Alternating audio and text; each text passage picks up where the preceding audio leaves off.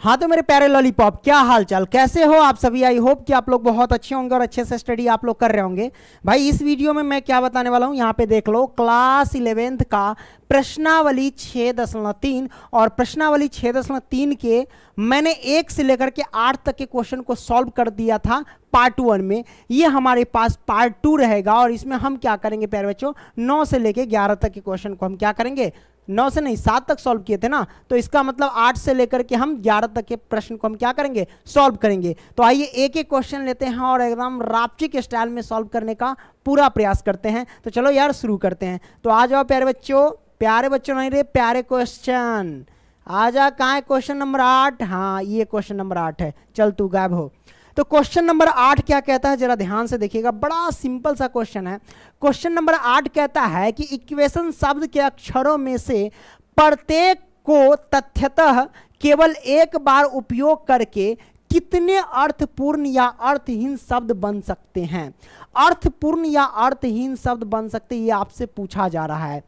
तो भाई, आपके मन में ये डाउट होगा कि भाई ये अर्थपूर्ण क्या होता है, या अर्थहीन क्या होता है? देखिए, अर्थपूर्ण शब्द उसे कहते हैं जिसमें भोवेल हो, जैसे ए, ई, आई, ओ, यू होता है ना, ये सब हो, ठीक है? और अर्थहीन किसे कहते हैं जिसमें भोवेल ना हो? ठीक है? तो आपने समझ लिया कि अर्थपूर्ण उसे कहते हैं जिसमें भोवेल हो और अर्थहीन उसे कहते हैं जिसमें भोवेल ना हो। चलिए, ये आपने पैर बच्चों, आपने समझ लिया, ओके? अर्थपूर्ण या अर्थहीन के बारे में। तो कहता है शब्द, हमारे पास यहाँ पे लिखेंगे सबसे पहले हल तो मैंने लिख लिया हल। अब यहाँ पे शब्द क्या दे रखा है वो देखेंगे। तो प्यारे बच्चों, यहाँ पे देख सकते हैं, शब्द हमारे पास क्या है? वो दिया गया इक्वेशन, है ना? तो आइए हम लिख देते हैं E Q U A T I O N equation यही है ना? E Q U A T I O N equation ठीक है? तो शब्द हमारे पास है इक्वेशन आपने ये समझा? आगे बढ़ते हैं. शब्द के अक्षरों में से प्रत्येक को तथ्यतः केवल एक बार उपयोग करके, यानी एक, केवल एक बार मतलब रिपीट नहीं करना है. पुनरावृत्ति की अनुमति नहीं है है ना? तो केवल एक बार उपयोग करके कितने अर्थपूर्ण या अर्थहीन शब्द बन सकते हैं? ये तो बड़ा सिंपल है। आप क्या करो, जैसे ये इसमें कुल शब्द कितने हैं? शब्द नहीं, कुल अक्षर, है ना, या कुल लेटर। कितने हमारे पास? तो एक, दो, तीन, चार, पाँच छ सात, आठ है। तो हम यहाँ पे एन बराबर लिख सकते हैं, आसानी से आठ, है ना? हम लेंगे यहाँ पे आसानी से आठ। मैंने एन बराबर लिख दिया आठ, है ना? अब प्यारे बच्चों, यहाँ पे कहता केवल एक बार इसमें से केवल एक बार शब्द लेना है, यानी टोटल शब्द को आप एक एक बार ले सकते हैं। तो कितने शब्द ले सकते हैं? इसमें आठ शब्द ले सकते हैं। तो आर की वैल्यू हो जाएगी मेरे पास आठ। इस बात को ध्यान रखना। तो आर की वैल्यू आठ है और एन की भी वैल्यू आठ है। तो दोनों बराबर है। तो इस स्थिति में दो फॉर्मूला बन जाते हैं, है ना? एक तो मैंने आपको बताया था एनपीआर का फॉर्मूला एनपीआर का फॉर्मूला क्या होता है भाई? तो वो होता है एन फैक्टोरियल एन फैक्टोरियल और बट्टे में क्या होता है? एन माइनस में आर फैक्टोरियल है ना? ये होता है। तो ये फॉर्मूला लगा करके बनाओ। या फिर एक और फॉर्मूला है कि एन फैक्टोरियल सिर्फ़ लगा दो। अगर ये एन फैक्टोरियल कब लगाएँगे? जब दोनों समान रहेंगे एन बराबर और आर बराबर, दोनों सेम रहेंगे तो एन फैक्टोरियल लगा करके क्वेश्चन को सॉल्व कर सकते हैं।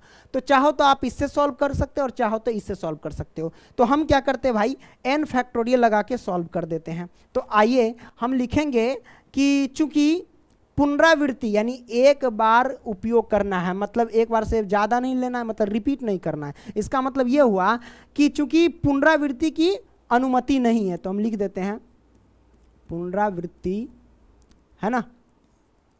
की है ना? कि अनुमति नहीं है है ना? अनुमति नहीं है है, ठीक है? नहीं है। हमने लिख दिया। इसलिए मेरे भाई, हम लगाएँगे कौन सा फॉर्मूला? एन फैक्टोरियल या फैक्टोरियल एन दोनों एक ही बात है, आगे पीछे कर सकते हैं। इस पर बना लो या फिर इस पर बना लो एनपीआर पे कोई दिक्कत नहीं। एन की वैल्यू हमारे पास आठ है और ये फैक्टोरियल फैक्टोरियल तोड़ने का तरीका हमने बता दिया था ना सात दशमलव एक में। सात दशमलव एक नहीं एक्चुअल में ये छः दशमलव तीन है। पुरानी वाली बुक में आपको नज़र आएगा वो सब, है ना? चलिए, इधर हेर फेर हो गया प्रश्नावली। अब हम इसको सॉल्व कैसे कर सकते हैं? तो आठ गुने में एक पॉइंट कम करते चल जाओ और गुना करते जाओ। कहाँ तक? एक तक। जैसे आठ एक पॉइंट कम करेंगे तो सात और गुने में एक पॉइंट कम करेंगे छः छः गुने पाँच गुने में चार गुने में आ, कितना? तीन और गुने में दो और गुने में एक। एक तक आपको छोड़ देना है उसके बाद है ही नहीं। सबको गुना कर दो कितना होता है? देखो आठ सतह छप्पन हुआ चलो छप्पन हो गया। फिर छः पंचे तीस हो गया चलो तीस हो गया। फिर चार तीन बारह बारह दूना चौबीस हो गया। मतलब छप्पन से तीस और चौबीस, सबको आपस में गुना करना है। तो हम क्या कर लेते हैं? सबसे पहले चौबीस से तीस में गुना कर लेते हैं। तो चौबीस तिहाई कितना होता है? बहत्तर होते हैं, यानी सात सौ बीस हो गया। चौबीस से अगर तीस में हम मल्टीप्लाई कर दिए तो सात सौ बीस। सात सौ बीस में छप्पन से मल्टीप्लाई कर लो, कितना होगा? तो इन दोनों का मल्टीप्लीकेशन करेंगे तो ये ज़ीरो है तो ज़ीरो रख देंगे। अब देखो छः दुना बारह के दो कैरी गया वन है ना? सात छक बयालीस और पाँच दुना दस, बयालीस दस कितना हो गया? बावन, एक, तिरपन के तीन कैरी वो कैरी गया फाइव सात पचे पैंतीस और पाँच चालीस। चालीस हज़ार तीन सौ बीस हुआ मेरे भाई। कितना हुआ? चालीस हज़ार तीन सौ बीस। ये हमारे पास क्या हुआ? आंसर निकल के आ गया। कोई दिक्कत? नहीं दिक्कत मेरे भाई। तो आपने क्या किया? आठवा को सॉल्व कर लिया। आ जाओ नौमा को रेलते हैं। नौमा क्या कहता है? मंडे मंडे शब्द के अक्षरों से कितने अर्थपूर्ण या अर्थहीन शब्द बन सकते हैं। यह मानते हुए कि किसी भी अक्षर की पुनरावृत्ति नहीं की जा, क्या नहीं की जाती है। यदि पहला कंडीशन कि एक समय में चार अक्षर लिए जाते हैं, पहला कंडीशन एक समय में चार अक्षर लिए जाते हैं तो आइए हम पहले प्रश्न को सॉल्व कर लेते हैं। यहाँ पे लिखेंगे हल, मैंने लिख दिया हल, ठीक है? पहला क्या कहता है? पहला कहता है कि एक समय में, एक समय में कितने अक्षर भाई? चार अक्षर लिए जाते हैं। है भूखबा क्या कर रहा है रे? अक्षर लिए लिए जाते हैं। देखो, गया, जाते हैं। कोई बात नहीं, फेस पे लाइट नहीं पड़ रहा है। ये लाइट कट गया नहीं, कुछ वायरिंग में प्रॉब्लम हो गया है। तो दिक्कत हो जाएगा, है ना? तो अच्छा इसको हम सॉल्व कर लेते हैं उसके बाद हम लाइट को ठीक करने जाएँगे, ठीक है? तो एक समय में चार अक्षर लिए जाते हैं, ठीक है? तो चलिए, पहला सॉल्व करते हैं। भाई मंडे शब्द हमारे पास है मंडे तो शब्द मंडे में कितने अक्षर है, देख लीजिए। एक, दो, तीन, चार, पाँच छः अक्षर है। कितने? छः अक्षर है। तो हमारे पास एन बराबर कितने हो जाएँगे? छः हो जाएँगे। एन बराबर कितने हो जाएँगे? छः हो जाएँगे। अब देखिए, एक समय में चार अक्षर लिए जाते हैं तो ये चार अक्षर जो हो जाएँगे आर बराबर हो जाएँगे। तो आर बराबर हो जाएँगे चार। अब आपको पता है, पुनरावृत्ति की अनुमति नहीं है ना? यहाँ पे लिख दिया कि किसी भी अक्षर की पुनरावृत्ति नहीं की जाती है। पुनरावृत्ति नहीं की जाती है, ऐसा यहाँ पे कहा जा रहा है। लाइट कट गई है, हम ठीक कर देंगे ये क्वेश्चन सॉल्व करके। तो पुनरावृत्ति की अनुमति नहीं है तो हम लिखेंगे चूँकि पुनरावृत्ति की अनुमति नहीं है। पुनरावृत्ति, है ना? पुनरावृत्ति की अनुमति नहीं है। तो लिख देते हैं कि अनुमति अनुमति नहीं है। ओके? अनुमति नहीं है। नहीं है। क्लियर? नहीं है तो भाई हम क्या करेंगे? लिखेंगे ये तो हमारे पास पुनरावृत्ति की अनुमति नहीं है। तो हम क्या कर सकते? कौन सा सूत्र लगाएँगे? एनपीआर का। एनपी आर का फॉर्मूला क्योंकि दोनों का अलग अलग है ना? अब ये एन हो गया। वायर जो है ना, ढीला पड़ गया, उसको घुसाएगा ना तो ठीक हो जाएगा निकाल करके। एन तो एन हमारे पास क्या हो जाएगा, है ना? एनपीआर तो यहाँ पे हम क्या करेंगे एन की वैल्यू छः है और आर की वैल्यू यहाँ पे कितनी दे रखी है तो चार दे रखी है। तो आइए हम क्या करते हैं सॉल्व करते हैं इसको। चलो एन का फॉर्मूला लगा दो तो फैक्टोरियल एन होता है। है ना? या एन फैक्टोरियल ऐसे लिख सकते हो। हम ऐसे लिख देते हैं कि एन फैक्टोरियल बट्टे में एन माइनस में आर ओके और फैक्टोरियल चलिए सॉल्व करते हैं। एन का मान कितना? है छः। तो ये हो जाएगा छः फैक्टोरियल बट्टे में। एन का मान छः और माइनस के आर के जगह पे चार है तो चार लिखेंगे और इसका हम लिख देंगे फैक्टोरियल हमने क्या लिख दिया? फैक्टोरियल अब क्या करेंगे प्यारे बच्चों? यहाँ से देख लो। हम यहाँ से क्या करते हैं? फिर शुरू हो जाते हैं। देखो छ को फैक्टोरियल तोड़ना है ना तो इसको लिख सकते छः गुने में पाँच गुने में चार चार है ना गुने में तीन और गुने में दो फैक्टोरियल यहाँ पे स्टॉप कर देते हैं क्योंकि ये आपको अभी पता चलेगा। अब देखो भाई छः में से चार जाएगा तो कितना होगा? दो और यहाँ पे फैक्टोरियल लगा दो है ना? तो दो फैक्टोरियल है ना? देखो आज लाइट भी मज़ाक कर रहे हैं ना हमसे? तो देखो यहाँ से आ, ये से ये कट गया। अब हमारे पास आया कितना? है ना? तो छः पंचे तीस है ना? तो तीस हो गया। तो हम लिखेंगे क्या? तीस और गुने में चार तिहाई बारह। तो कितना हुआ? बारह तिहाई छत्तीस। लिखेंगे छत्तीस है ज़ीरो। तीन सौ साठ हमारे पास आंसर निकल के आ गया। क्लियर? तो हमने क्या किया भाई? इस पहले का, अब देखो इसी का। हम दूसरा प्रश्न सॉल्व कर लेते हैं, है ना? ये दूसरा। अब दूसरा हम सॉल्व करेंगे तो हम क्या करेंगे भाई? चलिए देख लेते हैं। कहता क्या है दूसरा में कि एक समय में सभी अक्षर लिए जाते हैं। क्या है? एक समय में सभी अक्षर लिए जाते हैं। अब एक समय में सभी अक्षर लिए जाते हैं तो कैसे सॉल्व करेंगे? सिंपल सी बात है। दूसरा हम सॉल्व कर रहे हैं, ठीक है? कलम लिया ये सर उसको निकाल करके फिर पैसा ना पड़ेगा। तो दूसरा क्या कहता है? कुल अक्षर हमारे पास कितना है? कुल अक्षर। हमारे पास ये है एक, दो, तीन, चार, पाँच, छ, है ना? तो हमारे पास क्या हो जाएगा? एन की वैल्यू हो जाएगी एक दो तीन चार पाँच छ तो हमने लिख दिया छ ठीक है? अब एक समय में सभी अक्षर लिए जाते हैं मतलब ये पूरा अक्षर लेना तो वो हो जाएगा आर की वैल्यू तो आर बराबर भी हो जाएँगे छः देखो दोनों बराबर है। आर की भी वैल्यू बराबर है एन की वैल्यू बराबर है। और पुनरावृत्ति की अनुमति हमारे पास नहीं है। तो हम क्या लिख सकते हैं भाई? हम उसका सूत्र लगा, लगा सकते हैं। यहाँ लिख देंगे चूँकि पुनरावृत्ति है ना? पुनरावृत्ति की अनुमति, है ना? कहता है कि पुनरावृत्ति की अनुमति नहीं है, कि अनुमति मति नहीं है। नहीं है। ठीक है? इसलिए इसलिए इसका फॉर्मूला लगा देते हैं फैक्टोरियल एन या एन फैक्टोरियल कह सकते हो। तो एन के जगह पे कितना? छः और फैक्टोरियल तो फैक्टोरियल इसको तोड़ने का तरीका क्या है मेरे भाई?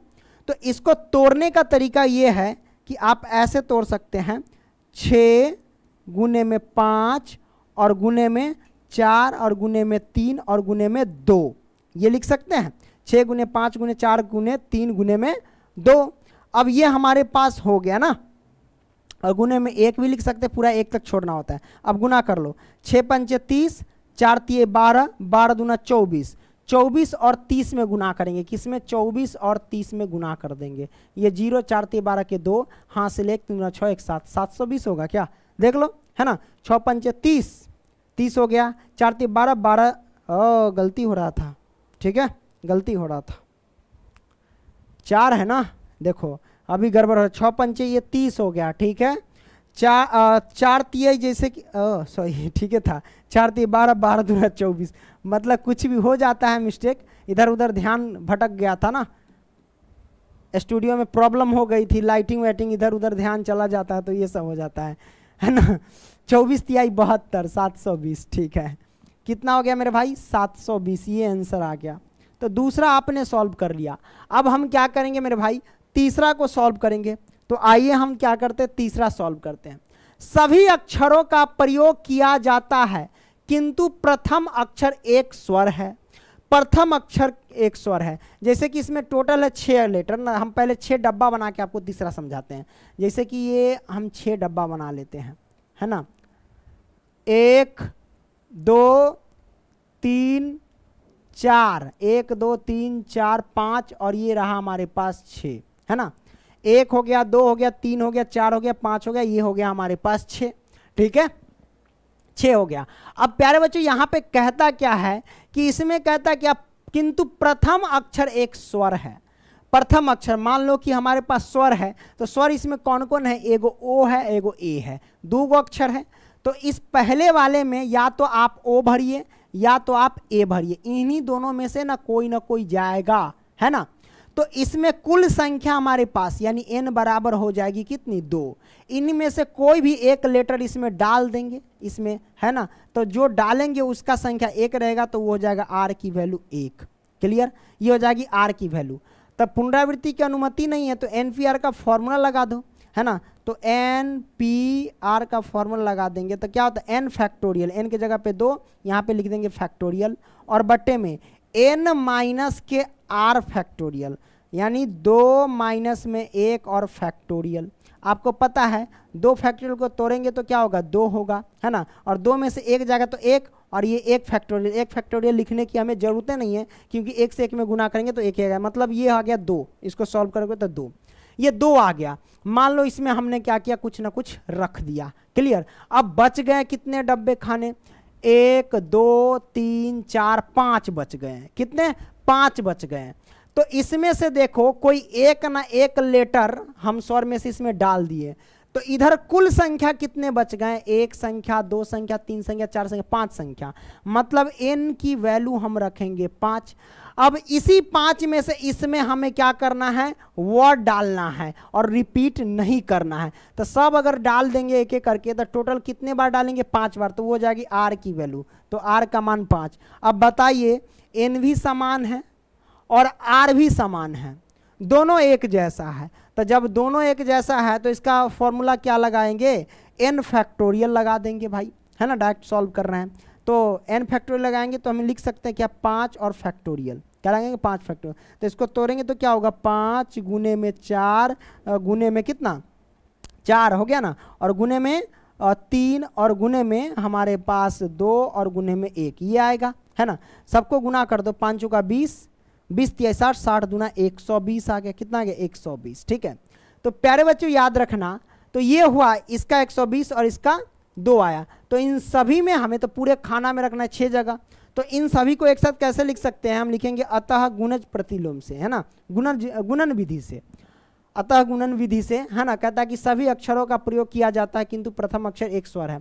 तो सभी अक्षरों का प्रयोग किया जाता है। प्रयोग करके कितने बनेंगे? तो वो देख लेते हैं भाई। हम लिखेंगे अतः अतः गुणन गुणन विधि से, विधि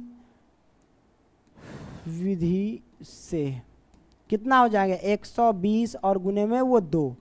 ज़ीरो, दो दूना चार और दो दो सौ चालीस। ये हमारे पास क्या हो जाएगा? आंसर निकल के आ जाएगा। ठीक है? तो हमने नौवा प्रश्न को भी सॉल्व कर लिया। आइए हम क्या करते हैं मेरे भाई? दसवां प्रश्न सॉल्व करते हैं। है ना? प्रश्न क्रमांक दस क्या कहता है कि मिसिसिपी शब्द के अक्षरों से बने भिन्न भिन्न क्रमचयों में से कितनों में चारों आई एक साथ नहीं आते हैं? ये हम कैसे सॉल्व कर पाएँगे? तो आप क्या करिए कि जितने भी इसमें लेटर दिए गए हैं, इन सभी, है ना, इन सभी अक्षरों का एक साथ क्रमचयों की संख्या ज्ञात कर लो। उसमें से आप क्या करो आई वाले, है ना? आई के क्रमचयों की संख्या ज्ञात करके घटा दो, है ना? बस आंसर निकल जाएगा, ठीक है? तो हम क्या करेंगे भाई? हमारे पास शब्द जो दिया गया है, सबसे पहले लिखेंगे हल। मैंने लिख दिया हल। शब्द क्या दे रखा है, वो लिख लो, है ना? शब्द। शब्द दिया गया है मिसिसिपी वो लिख लेते एम है आई है एस एस उसके बाद आई है, फिर एस एस उसके बाद क्या है? फिर आई है देन पी पी और फिर आई है। तो मिसिसिपी हमको दिया गया है। अब बताइए कि इसमें टोटल लेटर कितने हैं? तो एक, दो, तीन, चार, पाँच, छ, सात, आठ, नौ, दस, ग्यारह। तो यानी एन बराबर हो जाएगा ग्यारह। क्लियर? एन बराबर क्या हो जाएगा? ग्यारह। अब यहाँ पे देख लीजिए कि एम की संख्या कितनी है। एम कितने बार है? एक बार तो हम लिखेंगे क्या? एम जो हमारे पास केवल एक बार है। उसके बाद एस की संख्या कितनी है? तो मेरे भाई एस जो है ना, वो चार बार है तो हम लिखेंगे चार बार। उसके बाद आई कितने बार है? तो आई देख लेते हैं कितने बार है। आई है एक, दो, तीन, चार बार है तो चार लिख लो। देन उसके बाद पी कितने बार है? तो पी जो है ना, हमारे पास वो है दो बार। यहाँ पे देख सकते पी पी दो बार। ये हमने लिख दिया। अब हमारे पास क्या करेंगे भाई? तो इस प्रकार की जो क्वेश्चन है तो इसके लिए एक फॉर्मूला है। हम कैसे सॉल्व कर सकते हैं? हमने आपको शुरू में एक फॉर्मूला बताए थे यानी पार्ट वन में है ना? देखो इसको सॉल्व करने का एकदम बढ़िया सा तरीका है कि आ, सबसे पहले तो हमें इन सभी अक्षरों का लिखेंगे सभी सभी अक्षरों है ना? सभी अक्षरों से बने क्रमचियों की संख्या सभी अक्षरों से से बने क्रमचियों की संख्या, बने से दैत तरीके से बने क्रमचयों की संख्या, है ना? संख्या।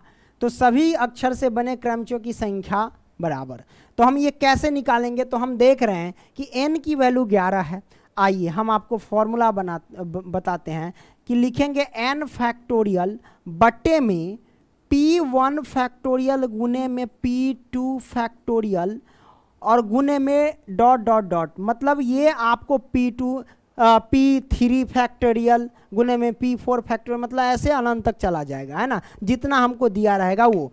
P का वैल्यू यहाँ पे कुछ भी हो सकता है, जैसे इसमें से P की P1 की वैल्यू कुछ भी हो सकता है P2 की वैल्यू कोई भी उठा सकते हैं, कोई दिक्कत नहीं है। तो आइए हम उठा लेते हैं सबसे पहले, n का मान कितना है? 11 तो हम लिखेंगे 11 और वहाँ पे फैक्टोरियल लगा है तो फैक्टोरियल लगा दिए। हमने फैक्टोरियल लगा दिया, कोई दिक्कत? नहीं दिक्कत मेरे भाई, क्या लगा दिया? फैक्टोरियल चलिए हमने लगा दिया ग्यारह फैक्टोरियल हो गया, अब बटा लगाइए, उसके बाद क्या करेंगे? पी वन तो एम वन की एम का वैल्यू ले लो, है ना? तो एम कितनी बार? एक बार। तो यहाँ पे लिख देंगे एक फैक्टोरियल तो एक फैक्टोरियल लिखने की हमें ज़रूरत नहीं, क्योंकि गुना करते तो एक क्या आता है, उसका कोई वैल्यू छोड़ दो। अब देते हैं, लिख लेते हैं, भाई, ये चार है, उसको लिख दो। हाँ इसका हो जाएगा। तो पी वन के जगह पे चार रख दो तो ये हो जाएगा चार फैक्टोरियल गुने में। आई हमारे पास कितना ये भी है चार, है ना? तो ये भी हो जाएगा चार फैक्टोरियल पी टू के जगह पे लिख दो।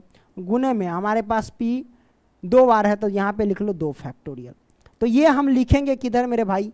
है ना? ये हम लिखेंगे किधर? तो ये लिखेंगे हम इसके बट्टे में ना? क्या लिखेंगे? इसके बट्टे में। लो, हमने लिख दिया। डाल दिया? हाँ भाई, मैंने डाल दिया। अब क्या करेंगे? चलिए कैलकुलेशन करते हैं।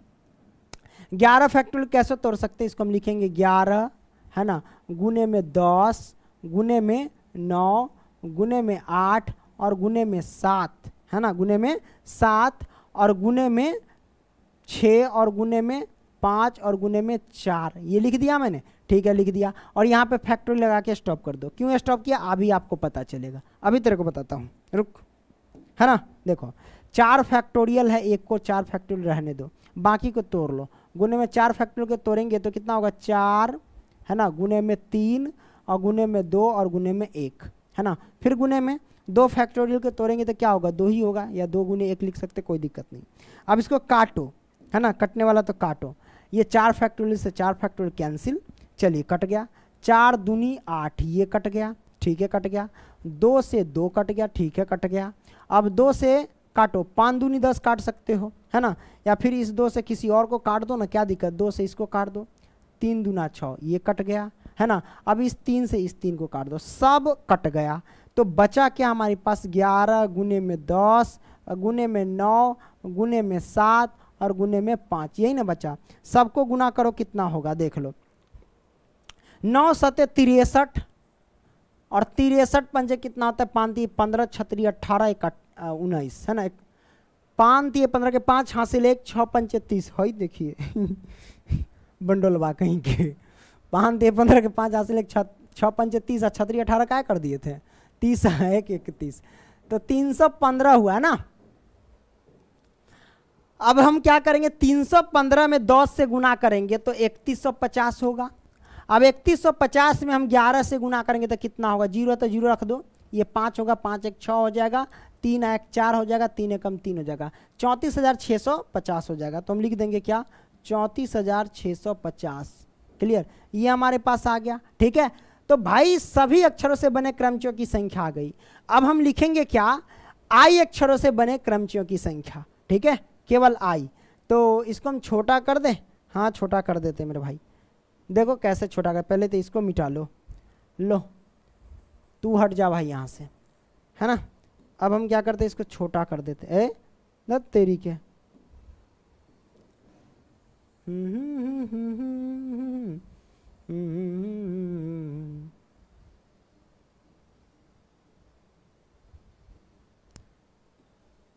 यहाँ पे हमने रख दिया इसको। अब हम क्या करेंगे मेरे भाई?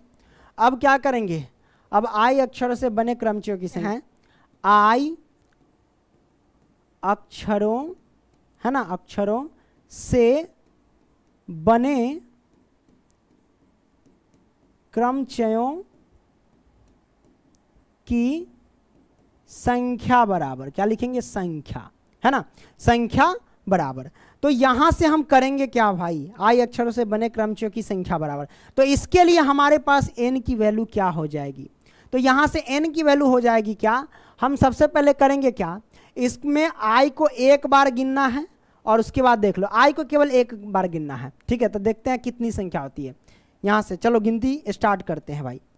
एक हो गया, दो हो गया, तीन, चार। उसके बाद पाँच, छः, सात, आठ। आठ हुआ एन का मान, क्योंकि आई को तो एक के बार से सिर्फ़ गिनना है तो एन बराबर आठ हो गया, ठीक है? चलिए, ये आ गया। अब हम क्या करते हैं? फॉर्मूला लगा देते हैं। चलिए, हम लिखेंगे क्या? वही एन पी आर है ना? लिखते हैं एन फैक्टोरियल है? या फैक्टोरियल एन ऐसे भी कह सकते हैं। तो एन फैक्टोरियल गुने में पी वन फैक्टोरियल गुने में पी टू फैक्टोरियल ठीक है? डॉट डॉट डॉट उस तरह से पी थ्री फैक्टोरियल ऐसे कर सकते हैं, इसमें कोई दिक्कत नहीं है। अब यहाँ से क्या करेंगे? एन फैक्टोरियल तो एन का वैल्यू है आठ तो हम लिखेंगे आठ फैक्टोरियल और बट्टे में पी वन जैसे कि ये सभी मान लेना, है ना? तो इसमें याद रखना क्या? कि भाई अगर आप आई एक बार ले चुके हैं, क्या? कि आई एक बार ले चुके हैं, उसको अब छोड़ देना है, ठीक है? अब ये सब लेना है। जैसे कि एम तो यहाँ पे P1 के जगह पे m की वैल्यू m का, m कितने बार? एक बार। तो एक फैक्टोरियल लिखने की ज़रूरत नहीं है। तो अब हम क्या करेंगे मेरे भाई? ये क्या करेंगे? S वाला ले लेंगे। तो आइए चार फैक्टोरियल लिख देंगे और गुने में ये p वाला ले लेंगे। तो ये हो जाएगा दो फैक्टोरियल चलिए सॉल्व कर लेते हैं। तो हम क्या करेंगे? लिखते हैं आठ गुने में सात गुने में छः। और गुने में कितना लिखेंगे? तो भाई मेरे छः हो गया ना? अब लिखते हैं पाँच और गुने में लिखेंगे चार और ये फैक्टोरियल लगा देंगे और बटा में। चार गुने में, चार गुने में उसके बाद क्या करेंगे? तो चलो, तीन और गुने में दो और गुने में एक। नहीं, इस फैक्टोरियल को ना तोड़ो। क्यों नहीं तोड़ो? इसके पीछे रीजन है। चार फैक्टोरियल है ना तो इसको चार फैक्टोरियल रहने दो, गुने में दो फैक्टोरियल का वैल्यू दो होता है। अब यहाँ से काटोगे तो चार फैक्टोरियल से चार फैक्टोरियल कैंसिल तो हमारे पास आएगा क्या? तो मेरे पास आएगा, गुना कर लो, आठ सते छप्पन और छः पंचे तीस। तीस और छप्पन में गुना कर लेना, ठीक है? तो उससे पहले क्या, दो नीचे बंठू लाल बैठा है, काट दो इसको। काट देते हैं, चलो तीन दूना छः, कट गया? चलो कट गया। तो हम क्या करेंगे? पाँच तिया पंद्रह, या फिर सात तिया इक्कीस। इक्कीस पंचे कितना होता है मेरे भाई? एक सौ पाँच होता है। एक सौ पाँच में आठ से गुना कर दो। आठ पंटे चालीस, ये चालीस, आठ एकम आठ आठ सौ चालीस हो जाएगा। कितना आ गया? आठ सौ चालीस। ये आ गया। अब हम क्या करेंगे भाई? हमें निकालना क्या है कि कितनों में चारों आई एक साथ नहीं आते हैं? तो भाई, चारों आई एक साथ नहीं आने वाले क्रमचों की संख्या। हम लिखेंगे चारों आई, एक साथ नहीं नहीं आने वाले, नहीं आने आने वाले क्रमचयों की संख्या। क्रमचयों क्रमचयों की संख्या। क्या हो जाएगा? घटा दो इसमें से। हम क्या करेंगे? चौंतीस हज़ार छः सौ पचास में से घटा देंगे। कितना? आठ सौ चालीस को। चलो, घटा देते हैं। तो घटाएँगे कितना? ज़ीरो, है ना? चौंतीस हज़ार छः सौ पचास है ना? हाँ 650 है। ये लग रहा जी से आठ है ना? इसको मिटा करके ठीक कर देते हैं। न तो आठ लगेगा आपको। ये चौंतीस हज़ार छः सौ पचास, ये आठ सौ चालीस। क्लियर? घटाएँगे ज़ीरो, ये हो जाएगा एक। छः में से हो जाएगा तीन, ये हो जाएगा तीन। ये हमारे पास आंसर निकल के आ गया। कोई दिक्कत? नहीं दिक्कत मेरे भाई। तैंतीस हज़ार आठ सौ दस। I hope